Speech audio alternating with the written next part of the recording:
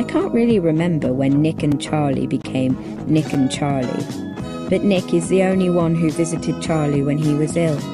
So in my books, he's definitely alright.